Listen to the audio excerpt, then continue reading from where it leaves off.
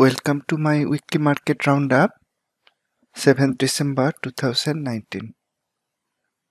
I am Sagar Nandi, designer and developer of Q trading systems and techniques. I used to work in IT, I have retired now, and I am living in Thailand. I swing trade stocks and sometimes I trade stock options as well. You may contact me using my email ID tradingprofitably at gmail.com. I regularly share stock analysis on my traders forum sagarnandi.com as well as on my Twitter page and YouTube channel. All of these are open to the public and you are most welcome to make use of them.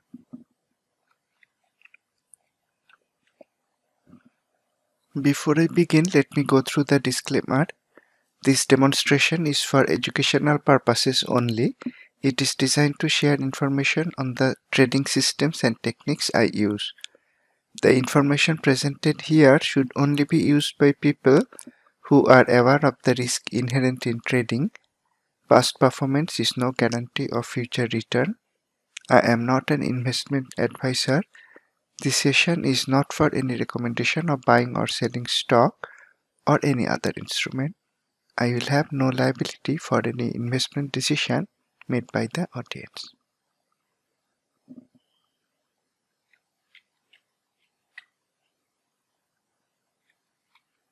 As usual, in today's topics, I will analyze oil and gold Using technical charts, they tend to impact related stocks.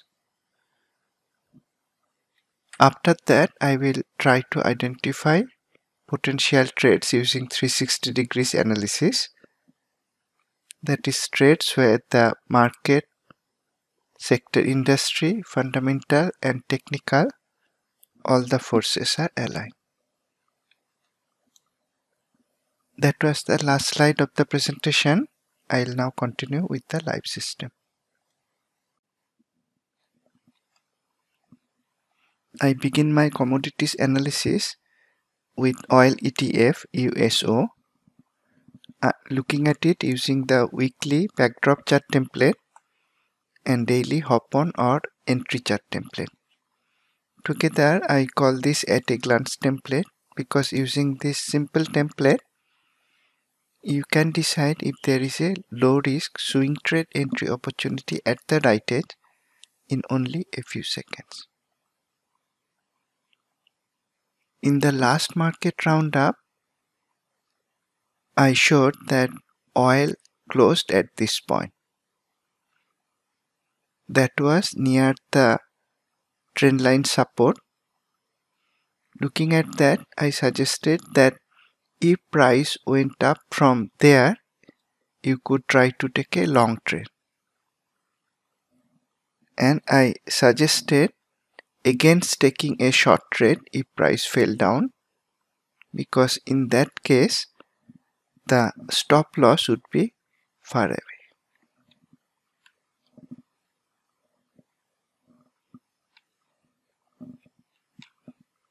This week on Monday price tried to go down but it reversed on Tuesday and after that price went down. Based on my analysis in the previous market roundup you could try to take a long trade using intraday chart the Q fine tune chart on this day using an early range breakout technique. That trade ended in a profit because price went up from there. What about today? In the weekly chart, the backdrop candle color is bullish. In the daily on Friday, the traffic light color is also bullish.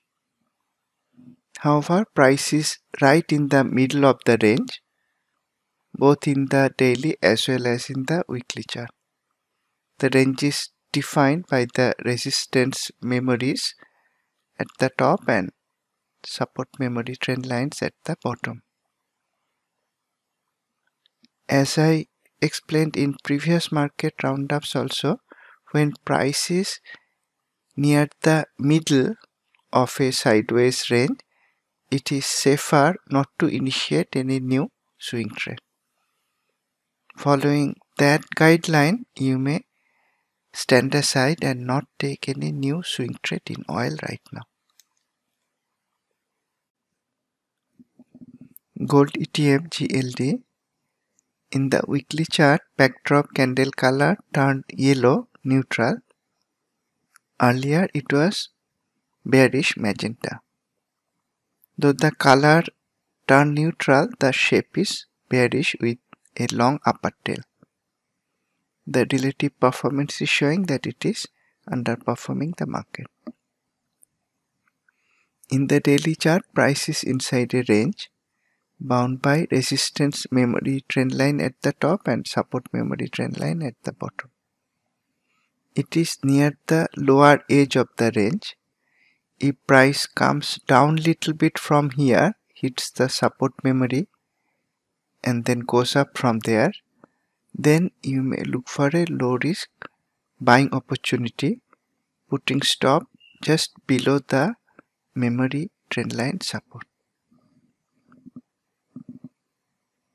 In the previous market roundup, when price was at this point, I mentioned that the likely move from there was to the upside. However, there was no Q long trade setup. I also suggested that because the likely move was to the upside and there was no Q trade setup in gold itself, you could look for a buying opportunity in a gold mining stock. I shared such a stock idea in my traders forum. Let me review that trade. This is my traders forum sagarnandi.com. I regularly share stock ideas for the USA market as well as for the India market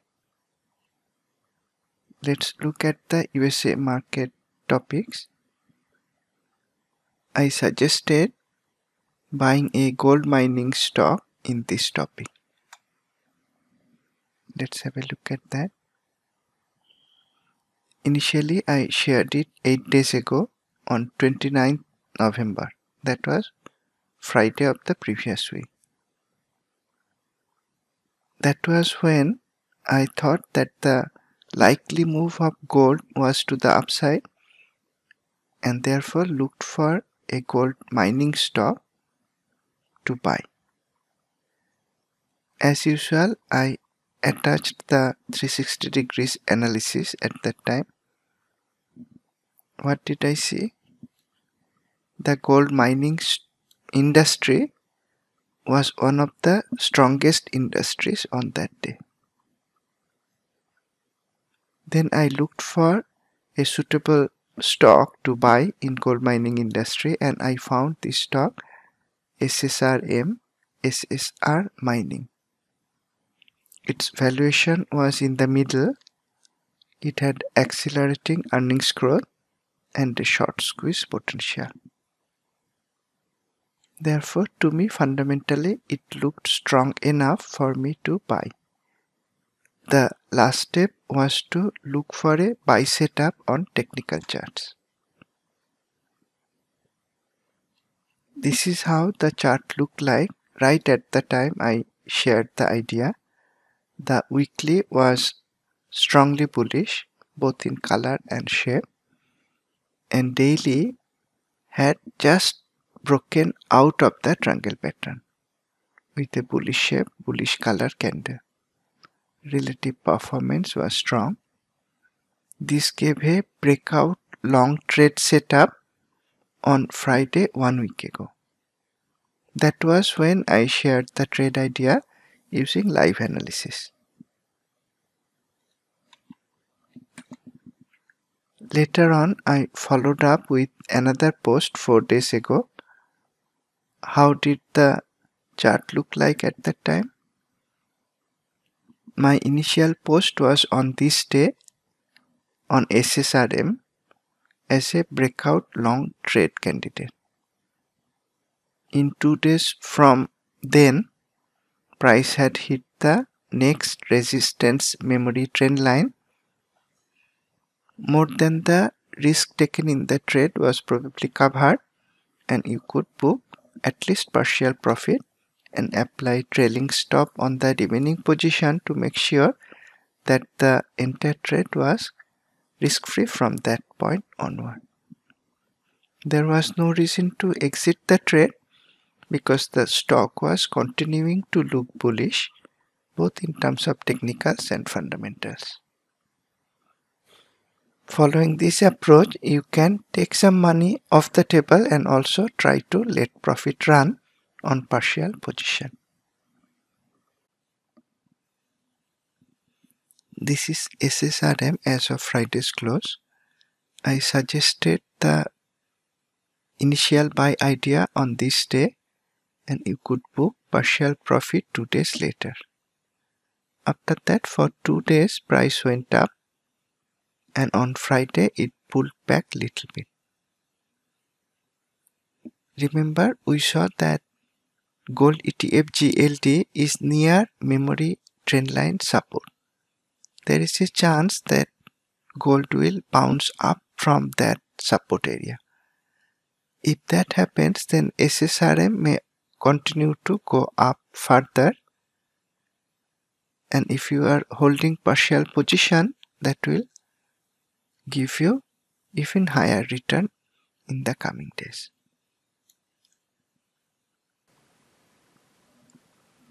After commodities analysis, I continue with the market level analysis. This is the highest level of the 360 degrees analysis that I carry out.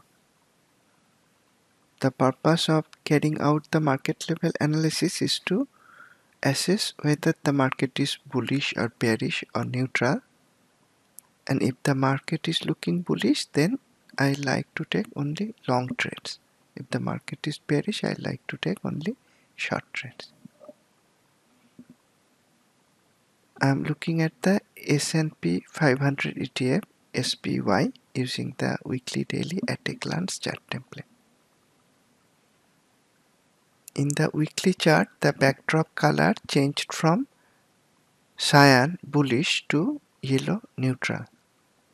The color changed to neutral, however the shape is bullish with a long lower tail. In the daily chart, SPY displayed this headwind possible reversal signal one week ago at that time I suggested caution. There was no short trade setup. As the headwind signal appeared, you could apply trailing stop for any long position you might have in SPY. That was useful because SPY had a sharp drop after displaying the bearish headwind signal.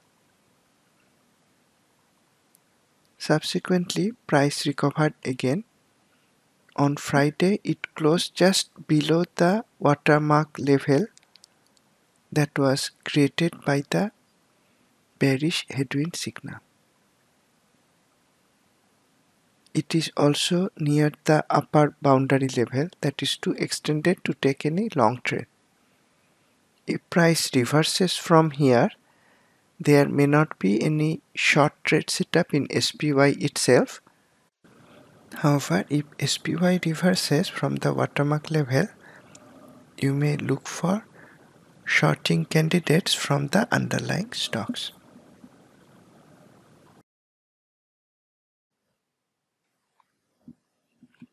Nasdaq ETF QQQ. This chart is similar to SPY the weekly has a doji shape candle that was true for SPY also.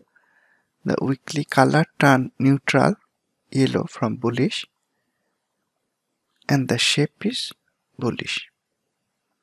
It recovered very nicely from the watermark pivot level which acted as a resistance earlier and once the pivot was broken it acted as a support. price also recovered from the memory trendline support level. In the daily, it displayed a bearish headwind possible reversal signal one week ago. I mentioned of that in the previous market roundup and suggested applying trailing stop in any long position that you might have. That was useful because QQQ had a sharp drop from there. And when price was recovering from this line, which is the weekly watermark support level, or from this line, which was the weekly memory trendline support level, you could switch to Q fine tune intraday chart and take a long trade in QQQ at either of these two price points. From there price went up giving a very profitable reversal long trade. At the right edge price is below the watermark level created by the headwind signal.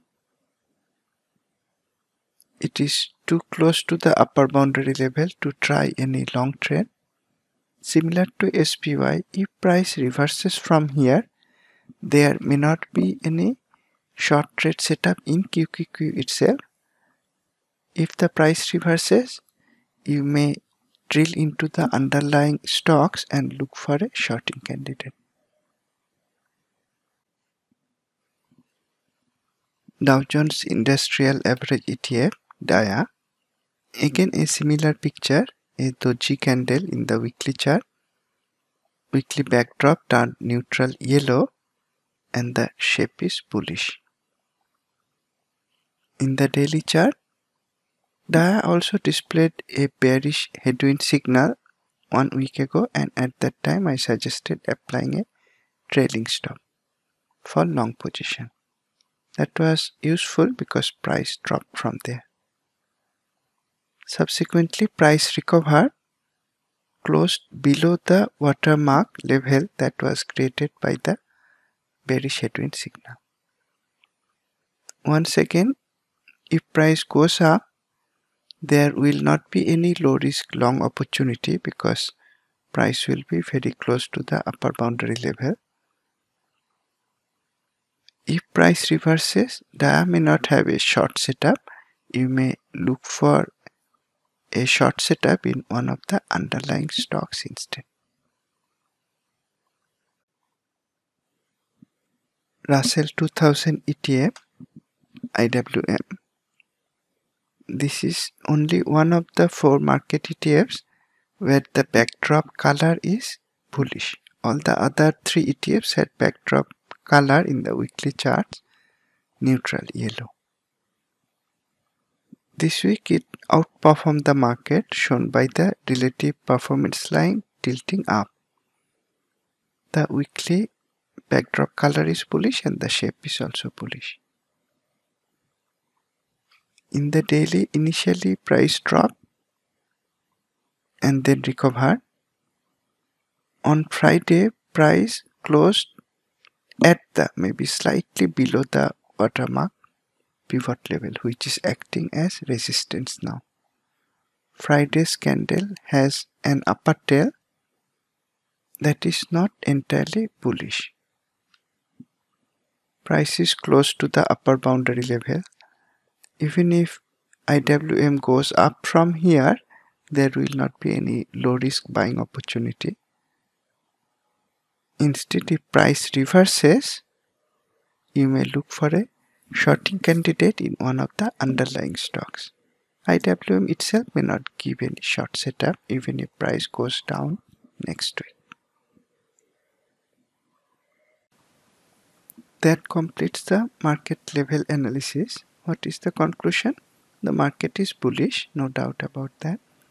All the four ETFs ended with strongly bullish shape candles. However, all of them are also extended, therefore you may be cautious before taking the next long trade.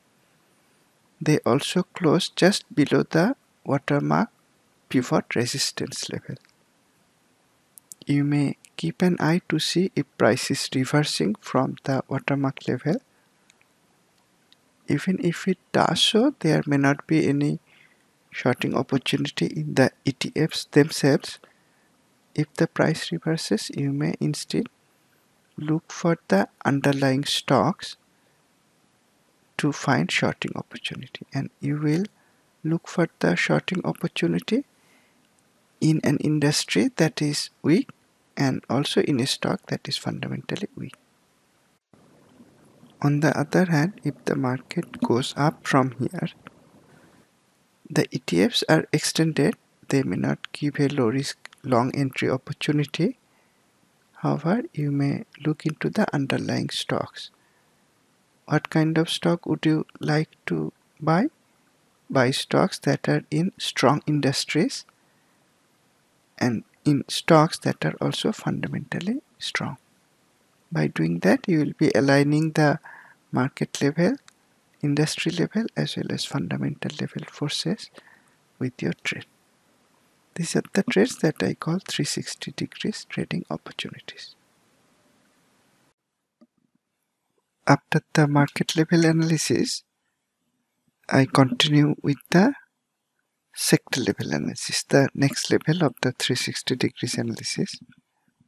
Here I am looking at one month sector performance, looking at the sectors across three review periods. This week the red bars, previous week the green bars and then two weeks before that the blue bars. Any bar to the right of the zero line shows the sector went up and any bar to the left of the zero line shows the sector went down. This week, 9 of the 11 sectors went up. The red bars are all to the right of the zero line. And 2 sectors went down. Which sectors went down? Real estate and information technology. Overall, the sector graph is bullish many more sectors went up than went down. However, you may avoid looking for any long trade in information technology because it went down this week. This is another view of the sectors using scorecard and heat map. The scores over the 12 monthly review periods and then more recent periods 10 day 5 day etc this scores represents strength or weakness. Cyan is strength, magenta is weakness. And the base column represents acceleration, deceleration. Cyan is acceleration, magenta is deceleration. Sorting by the 5 day period, you can instantly see that energy and consumer staples are the strongest sectors this week and the weakest ones are infotech and real estate. Information technology and energy seems to look like mirror images.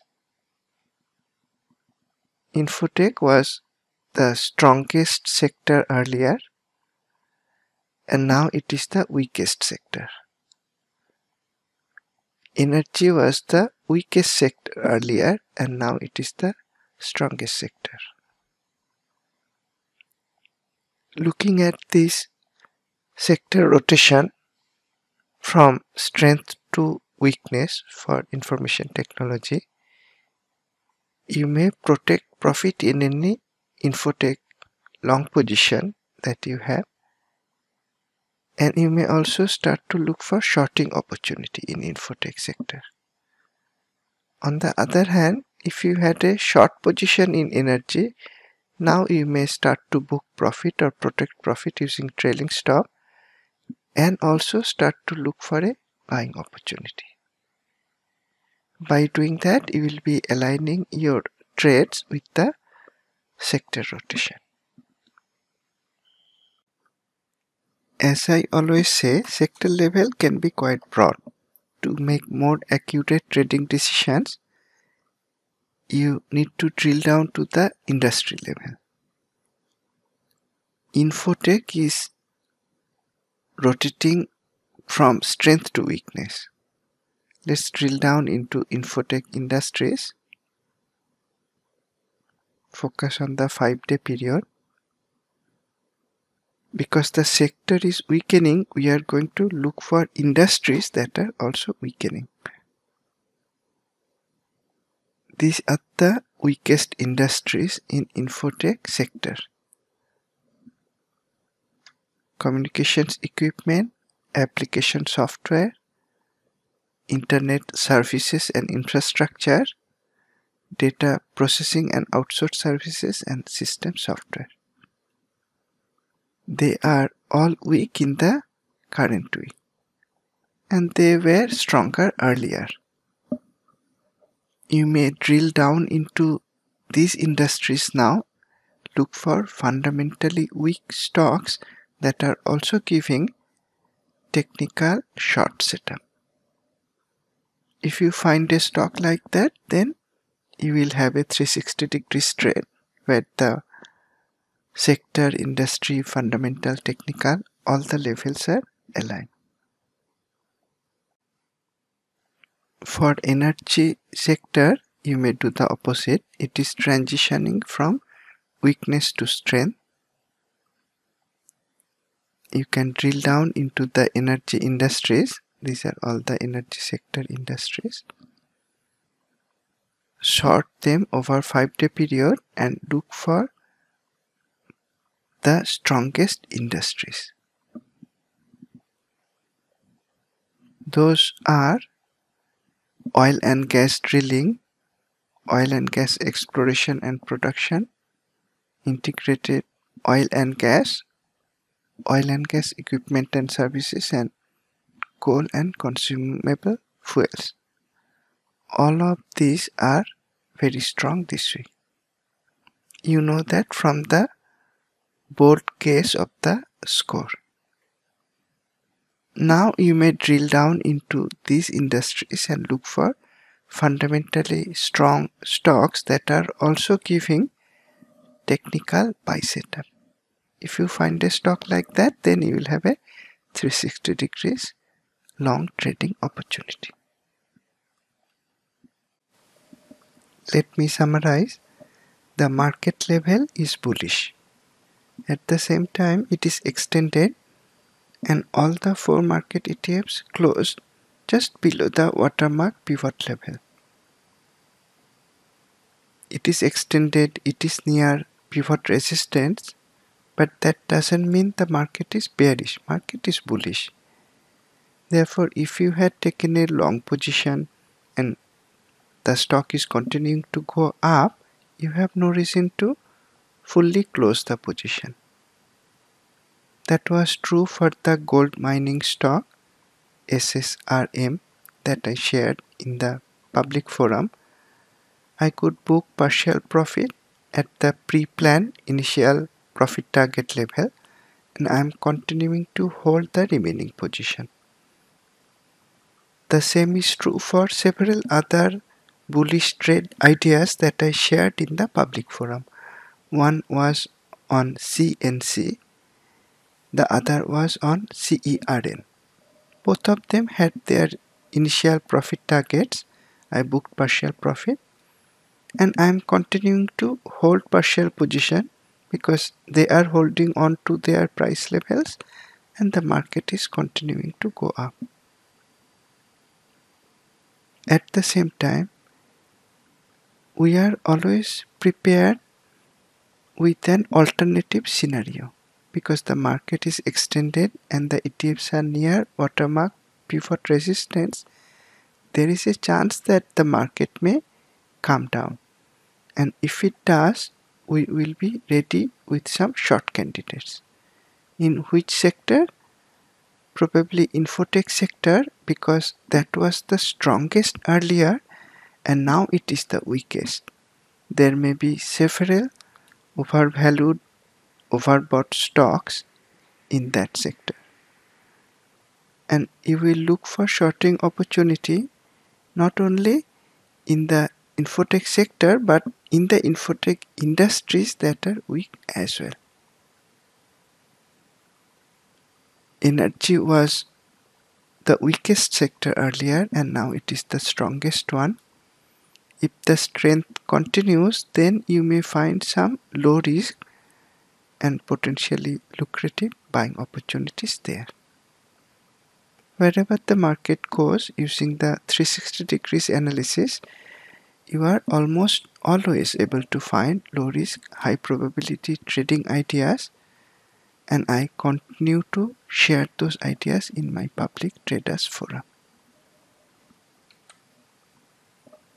That is all that I plan to share in today's session. Thank you for attending. I look forward to seeing you in my next session. Have a great week and trade profitably.